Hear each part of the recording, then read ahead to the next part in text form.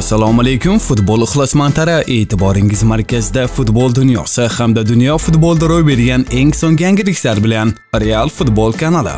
Ayni paytda mana shu roligimizga layk bosayotgan barcha obunachilarimizga yana bir bor o'z minnatdorchiligimni bildirib qolaman. Ekran oldiga yaxshilab joylashib oling layk bosishni unutmang. Bugungi dasturimizni boshladik. Mendesh Ronaldoni Chelsiga taklif qiladi, ammo London klubi boshqa 3 hujumchiga qiziqmoqda. Agent Jorge Mendesh hujumchi Cristiano Ronaldoni Chelsiga taklif qilmoqchi. CBC jurnalisti Ben Jacobsning so'zlariga ko'ra, ko'klar 37 yoshli portugaliyalik bilan shartnoma imzolash variantini ko'rib chiqishi mumkin. Qolaversa, Graham Potter klubda avvalgi bosh murabbiy Cristianoning transferiga qarshi chiqqan Thomas Tucheldagidek kuchga ega emas. Biroq londonliklar boshqa hujumchilarga ko'proq qiziqishmoqda. Leipzigdan Christopher Nkunku, Milandan Rafael Leao va Brentforddan Ivan Toney. Bu mavsumda Ronaldo Emu safida APLda 10 ta o'yinda maydonga tushdi va bitta gol urdi.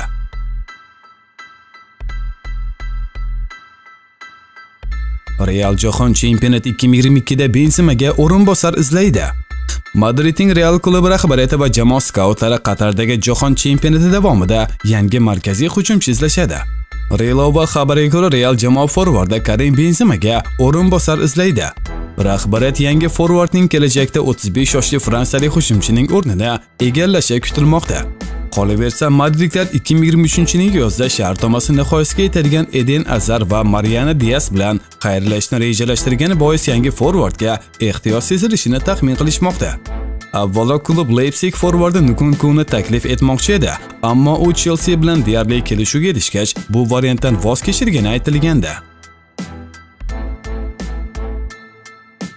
Kanalimizning doimiy homiysi sizga eng katta koeffitsiyentlarni taklif qiladi. Kiring ro'yxatdan o'ting Real Food kodi orqali katta bonusga ega bo'ling va o'z omadingizni sinab ko'ring. Omad silkasi esa doimgidek kommentariyada. Messi Fransiya va Braziliya terma jamoalari haqida fikr bildirdi. Argentina terma jamoasining hujumchisi Lionel Messi bo'lajak jahon chempionati 2022 ning asosiy forvardlari Fransiya va Braziliya terma jamoalari haqida o'z fikrlari bilan o'rtoqlashdi. Didier Deschamps shogirdlari amaldagi jahon chempioni sohiba sanaladi. Fransiya o'z futbolchilari va bosh murabbiyi bilan raqibga qo'rquv uyg'otadi. Braziliya terma jamoasi ham juda sifatli tarkibga ega ekanligini ham aytish kerak. Ularda biroz muvozanat yetishmayapti, ammo bu jamoada Neymar bor deydi 35 yoshli hujumchi. 20-noyabr kuni Qatarda jahon chempionati start oladi. Argentina, Polsha, Meksika va Saudiya Arabistoni terma jamoalari bilan bir guruhdan joy oldi. Emi Ronaldo bilan shartnomani bekor qilishi mumkin. Manchester United hujumchisi Cristiano Ronaldo intervyusidan so'ng uning shartnomasini bekor qilish variantlarini ko'rib chiqmoqda deb xabar beradi The Telegraph. Manbaning xabari ko'ra, agar futbolchi mavsum yakuniga qadar unga tegishli to'lovlarni talab qilmasa, klub u bilan shartnomani bekor qilishi mumkin.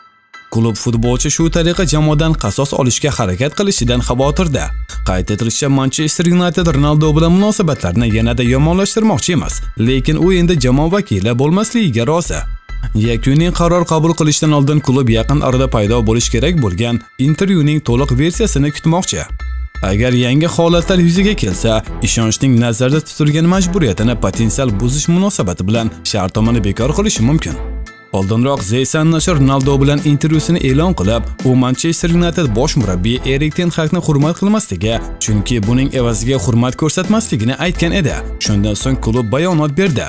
Portugaliyalik futbolchi joriy mavsum ingliz klubi safida 16 o'yinda maydonga tushib, 3 ta gol urdi va 2 ta golli uzatmani amalga oshirdi.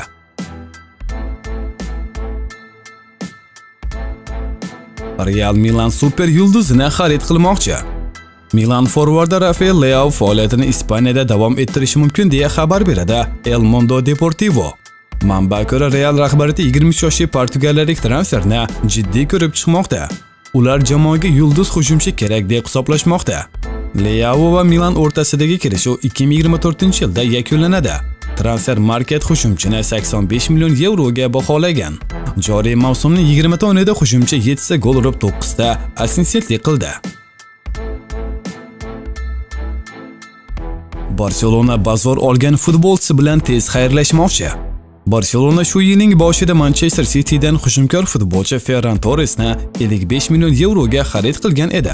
Shundan beri ispaniyalik o'yinchi muntazam maydonga tushirilayotgan bo'lsa-da, o'ziga yetarli darajada imkoniyat berilmayapti deb hisoblamoqda. 22 yoshli vinger jamoadan ketish payida yuribdi. Barselona rahbariyati ham qimmatbaho o'yinchini sotib yuborishga tayyor ekanligini bildirdi. Ular yanvarda o'yinchi bilan xayrlashib, budjetni to'ldirishni ko'zlagan. Ferran Torresga asosiy da'vogar sifatida Juventus tilga olinmoqda. Shuningdek, Newcastle va Wolverhampton iste'dodli o'yinchini yana Angliya Premyer Ligasiga qaytarmoqchi.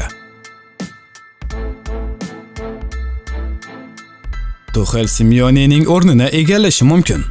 Ispaniya matbuoti xabarga ko'ra Tomas suxel Atletico Madrid bosh murabbiy sifatida Diego Simeone o'rniga asosiy da'vogar hisoblanadi. Simeone dunyodagi eng ko'p maosh oluvchi murabbiy, ammo uning jamoasi La Ligada 5-o'rinda va Chempionlar Ligasi guruhida oxirgi o'rinni egalladi. Ispaniyaning Ficharsiyas nashriga ko'ra Atletico Tuxelni kurashayotgan tomonni jonlantirish uchun mukammal odam deb biladi. 49 yoshli Tuxel hozirda ishsiz, sentyabr oyi boshida Germaniyalik Chelsea bosh murabbiyligidan bo'shatildi.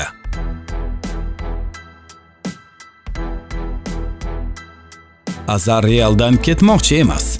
Real va Belgiya terma jamoasi hujumchisi Eden Azar Madrid klubidagi kelajagi haqida gapirdi.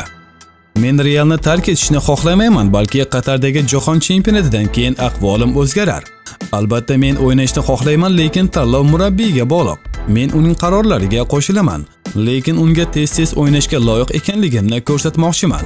Agar maydonga tushmasangiz buni qabul qilish qiyin deydi Azar.